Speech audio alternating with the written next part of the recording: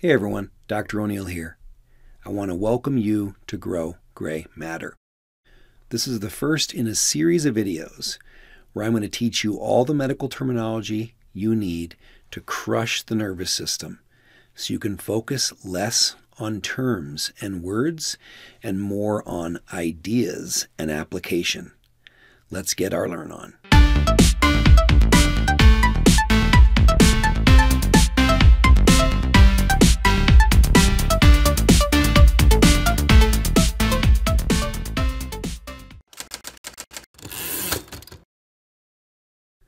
First, we have center, which means at the center. So, a few words to help this stick in your gray matter. Think concentric.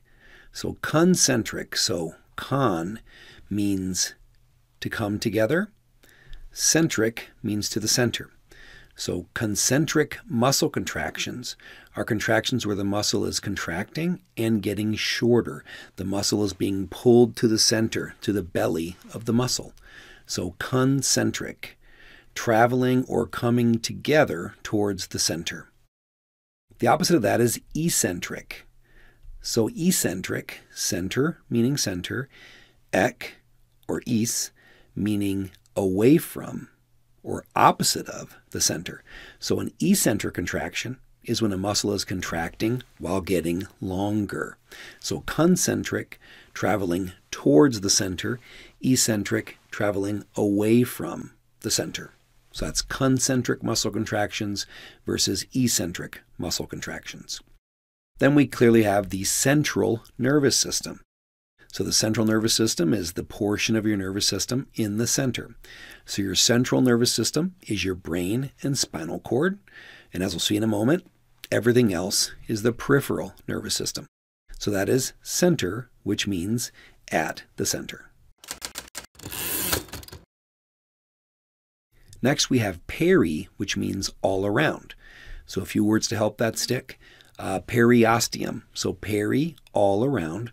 Osteum, bone. So periosteum is actually the skin or connective tissue that lines the outside of your bone. So periosteum, all around your bone. Next, we have your peripheral vision. So your central vision is where you can see things very clearly, see them with great color detail, but you have to be looking right at something. So your central vision, you're looking right towards something. Your peripheral vision is everything out here, all around. So your peripheral vision is not as clear, but it's still very important. So your peripheral vision is what allows you to see all around. Then the important one for here is the peripheral nervous system. So, whereas the central nervous system is the brain and spinal cord at the center, your peripheral nervous system is everything that's around your brain and spinal cord. So, think sensory receptors, spinal nerves, motor nerves. So, peri means all around. Next, we have ax, which means axle. So, when I think of an axle, I think of the pivot point on a car. So ax gives us the term axon. So the axon is the portion of a neuron that actually sends electrical impulses. When you look at a typical neuron, we have dendrites, which we'll cover in a moment, that receive information. The cell body processes information, and the axon then sends it away. So ax meaning pivot point, think this is where all the information that's been carried towards this neuron, neuron is actually going to be turned and pivoted and sent away. So ax means axle, and the axon would be the key example there. Next we have dender, which means tree. So a couple of words to help that stick. We have the dendrites. I just mentioned them. So dendrites are tree-like branches of a nerve. So up to 75% of the surface area of a neuron will be dendrites. So, whereas a nerve typically just has that one single axon, it can have thousands of dendrites. Uh, some of the neurons in your cerebellum, for example, can have up to 100,000 different connections, different dendrite connections. So, this is the branch like portion of a neuron that receives information and carries it to the cell body where it can be processed and dealt with. Another example is the oligodendrocyte. So cyte means cell, oligo means few. So this would be a cell with a few branches, oligodendrocyte. The oligodendrocyte is one of your glial cells, covered in a later, later video. It actually wraps these branches around your neurons, and that's how it myelinates nerves. It covers them with a fatty insulation that allows them to send their signals much, much faster. So the oligodendrocyte. So those are examples of dender, meaning tree. Real quick, what is your favorite word that uses one of these terms? What trick do you use to remember difficult terms like this? Leave a comment below to help your fellow students, and we will grow gray matter together.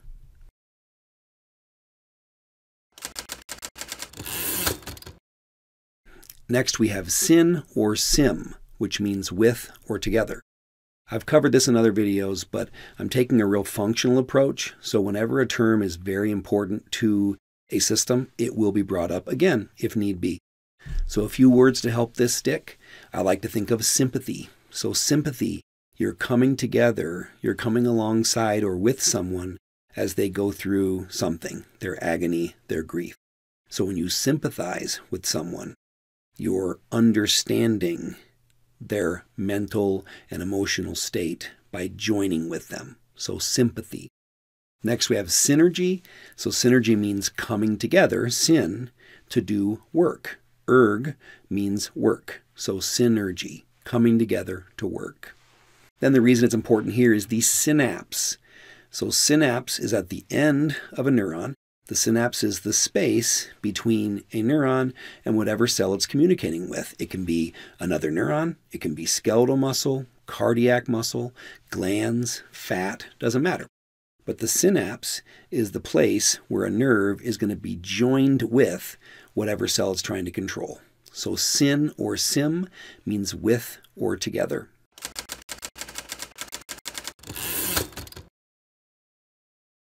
Let's cover these next three together uni, bi, and multi. So uni means one, bi means two, and multi means many.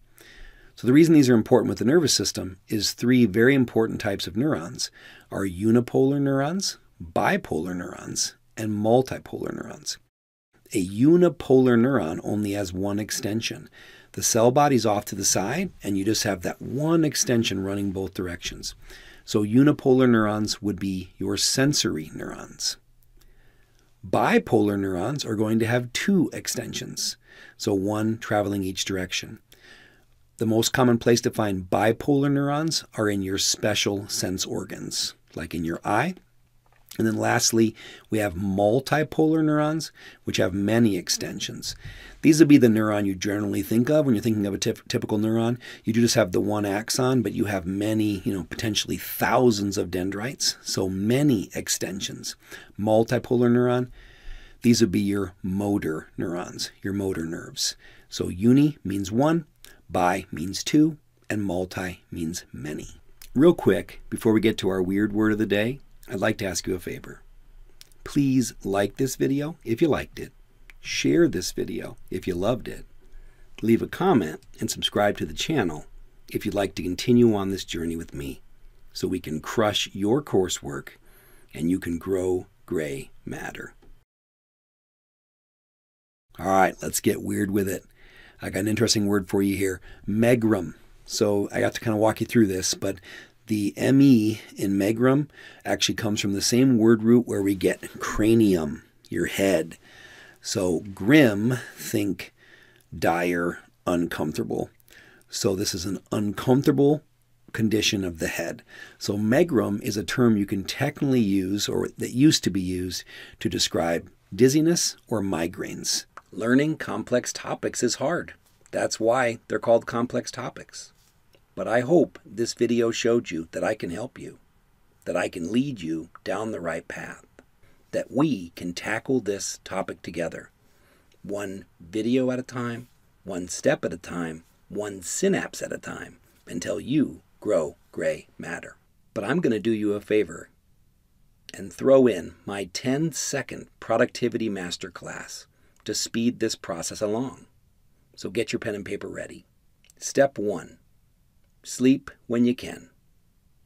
Step two, caffeine for when you can't. And step three, it up. now go change the world.